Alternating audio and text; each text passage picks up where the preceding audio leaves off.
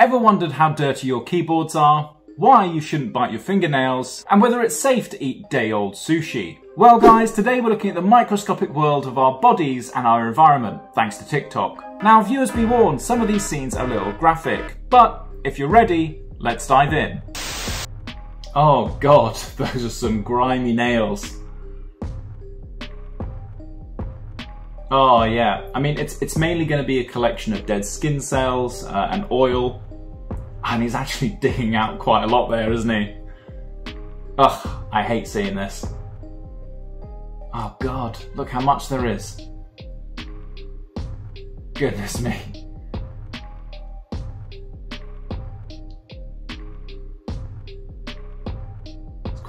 can imagine it's quite a lot. Oh no, God. These look like some form of parasitic worms. Now we tend to class parasitic worm infections like this under the heading of helminth infections. Now these might include things like roundworm or tapeworms and a whole host of other parasitic infections. Now these worms tend to get into the body through ingestion of their eggs. Once these eggs are in the body, they hatch in the intestine, where the worms go on to live, causing symptoms like nausea, diarrhea and weight loss. The scary thing is that these worms can grow up to several meters in length. So if this doesn't stop you biting your nails, I don't know what will. Stop it. Get some help. Oh god, okay, that's a little gross. Thank god they pixelated. Oh, he's actually got quite a lot of, lot of there, hasn't he? Oh, yeah, it doesn't look any nicer under the microscope.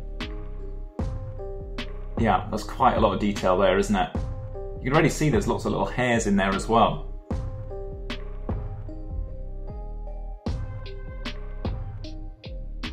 Oh, God, look at that. Yeah. So I guess the first thing to ask is what are boogers and why do we even produce them? Well, boogers actually start off as mucus in the nose and it's made up of mainly water, proteins, salt and a few other chemicals. And its slimy sticky consistency is what helps to trap things like dust, viruses, and other germs. And recently scientists theorised that there might be some evolutionary advantage to your immune system with picking and eating your boogers after they observed monkeys doing the same. So maybe digging for gold nuggets in your nose isn't just a gross habit. Oh, is that stinging nettles? Yeah, oh wow.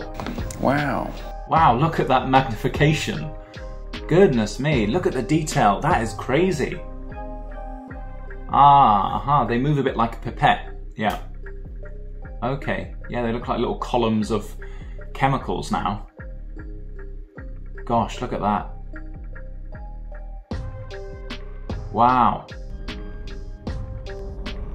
Aha, yeah. And in the end there, he's left with a classic nettle-like rash. Now, if this is a stinging nettle, then this rash is caused by a release of chemicals like acetylcholine, histamine, and formic acid. And one way to help with the soreness of the rash is to rub a dock leaf over the area. It's thought that the evaporating dock leaf juices have a soothing effect over the burning skin. Otherwise, if you can't find a dock leaf, just use a simple antihistamine tablet. It always works for me.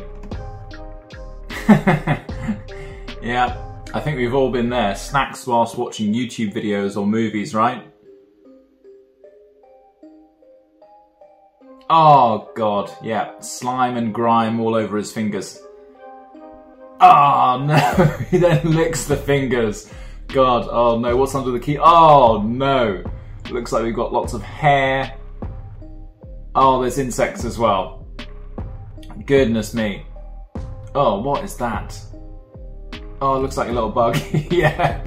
Got a little Salt Bae, he's gonna eat the keyboard. So again, this is another one about personal hygiene. I remember during COVID, we had to wipe down all of the telephones, keyboards and surfaces just to make sure we weren't spreading the virus. I didn't realize how dirty keyboards could be. Okay. Oh wow, look at that.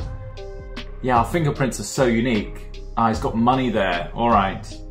I think I know where he's going with this. You know, money is absolutely filthy. Imagine the amount of hands that it exchanges through. You must have whole ecosystems just living on it.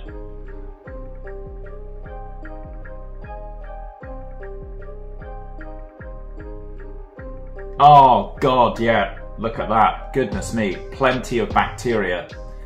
I mean, if this doesn't convert you to use contactless payment, I don't know what will. Okay, what is this? It's a... Ah, nice, it's a tattoo gun, alright. Oh, wow.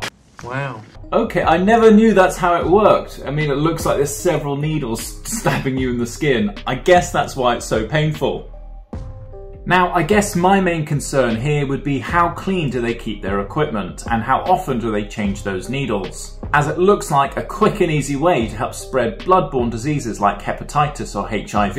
In fact, that is a question that we ask of patients who've contracted hepatitis. We ask if they've had tattoos abroad where the hygiene measures around these things might not be as strict. If you're going to get a tattoo, make sure you ask about these things, otherwise you'll be coming away with more than you bargained for. Okay, what's he doing there? Oh, wow. Wow. Wow, I guess, I guess these are your sweat glands.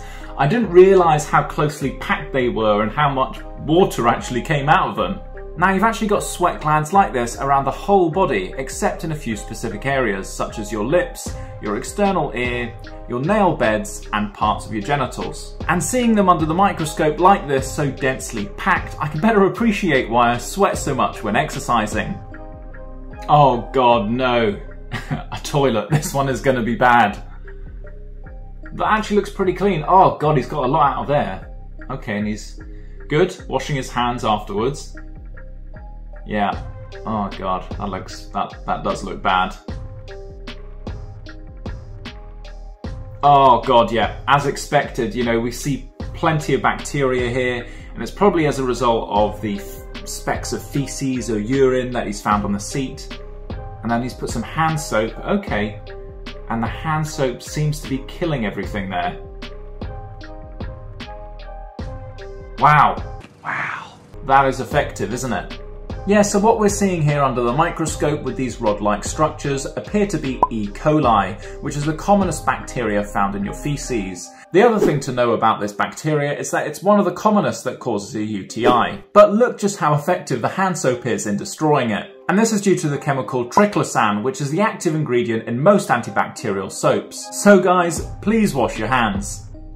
Okay, so he's got some uh, some sushi there. Uh, okay, that that looks a little bit old. It doesn't look very fresh. It looks like uh, that salmon's seen better days. Okay, so we're seeing the oils and the cells of the fish there. Oh no! God, the parasitic worms again. Oh God. Watch your profanity. Yeah, I mean that's that that that's enough to put you off a sushi, isn't it? Oh, oh god, there's even more of them. Oh. Now, the best way to avoid getting contaminated sushi like this is try to get the salmon as fresh as possible. Try to avoid those things that are reduced or going out of date. And if all else fails, then just cook your fish. But some of you might be wondering how would you know whether you've contracted these worms? Well, you actually see them in your poo. Otherwise, you tend to get a lot of non-specific symptoms like tummy pain, diarrhea, and some weight loss. So if you develop any of those symptoms, it might be sensible for you to keep an eye on your poos. Okay, Oh, nice. Okay, so what we're seeing here are structures called papillae, and they help us to differentiate between the flavors of salt, sweet, sour, and bitter. Okay, he's taken a swab off of the tongue.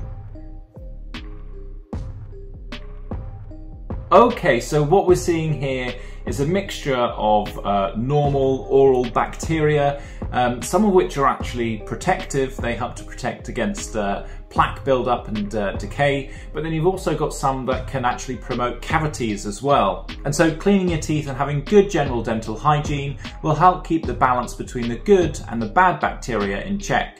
And brush your teeth!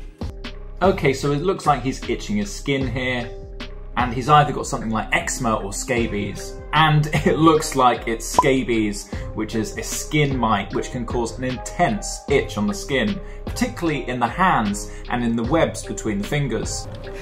Ain't nobody got time for that. Now, the mites typically leave a line in the skin where they bury their eggs, and you see a dot at the end from where they've burrowed in and out. And people often report the itch starting on the hands before spreading across the whole body. And the problem with mites like these are that they're easily transmissible from skin to skin contact. Now, to eradicate them, you not only need to treat your skin, but you need to treat your clothes and everything that you've come into contact with, which can be quite challenging.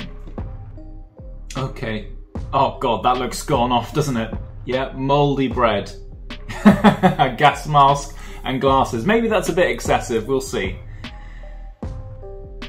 I mean, you can actually inhale the spores of fungus, um, which can get into the lungs and cause an infection. Oh God, look at that. Look at those spores. Horrible. Look at that fungus. Gosh.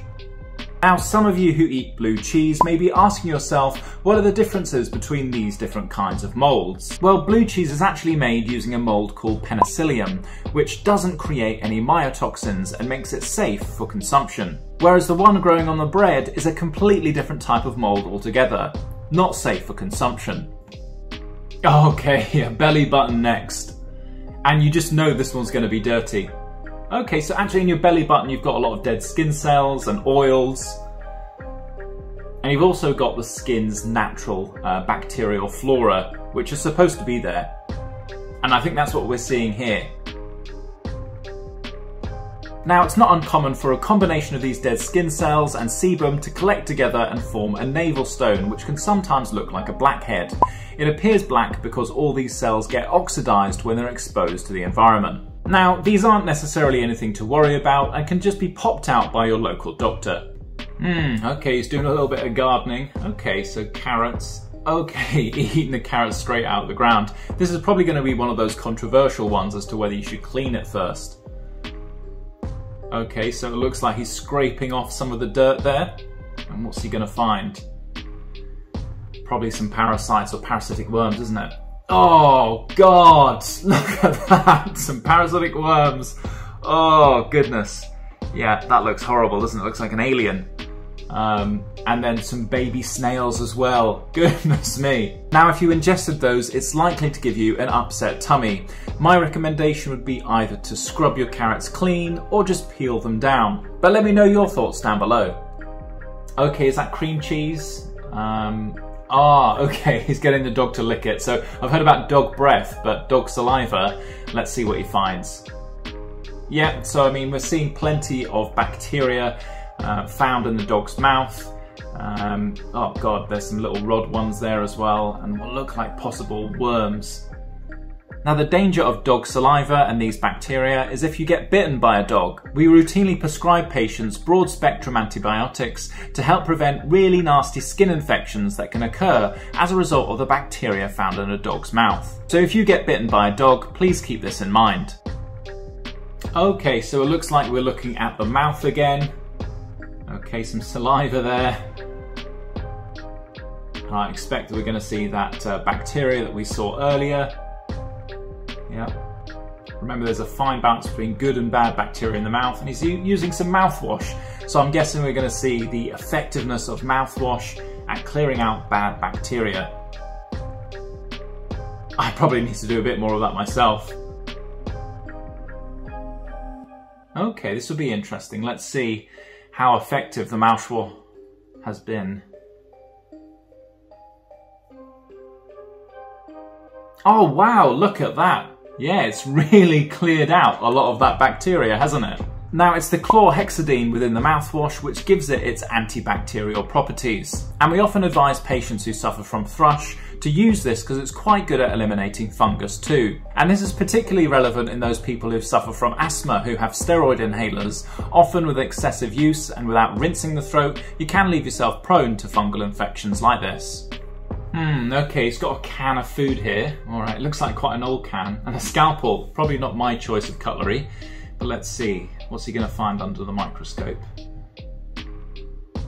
Okay, so we're seeing again the cells of the tuna, I guess, and there's clearly something moving in there.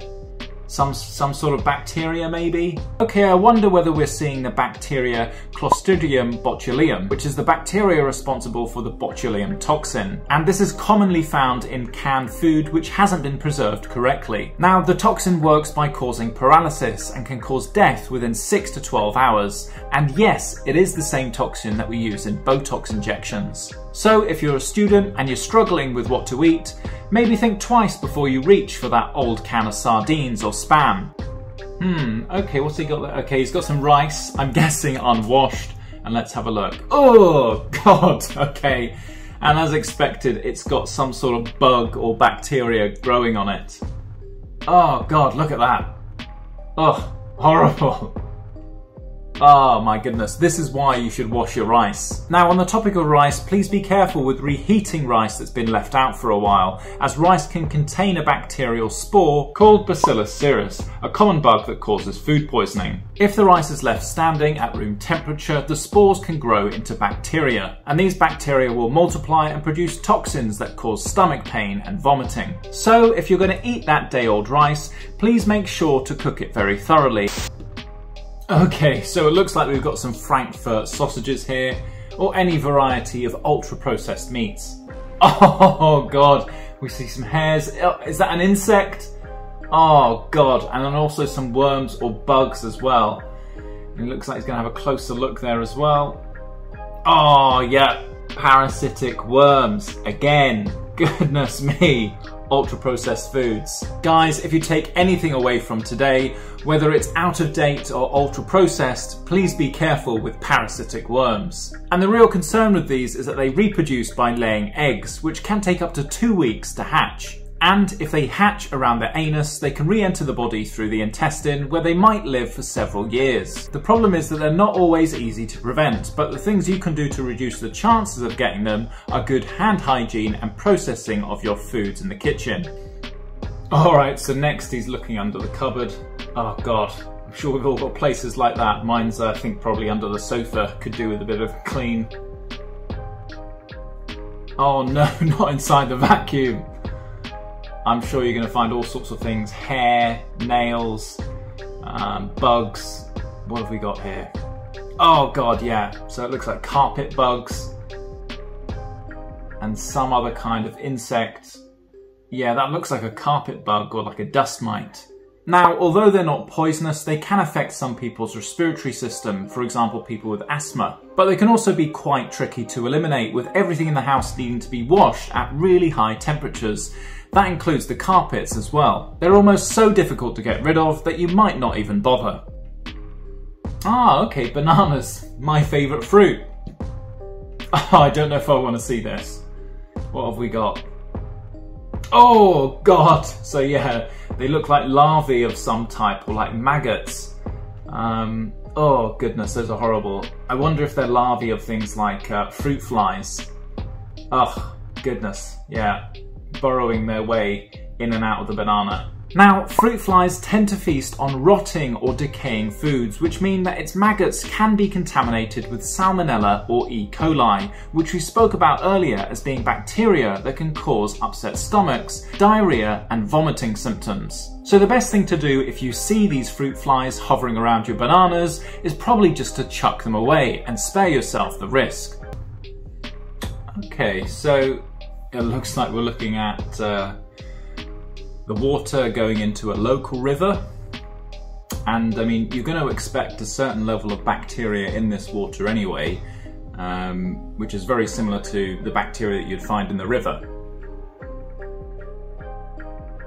Alright, yeah, so we're seeing here a mixture of different organisms, which you would likely see in river water.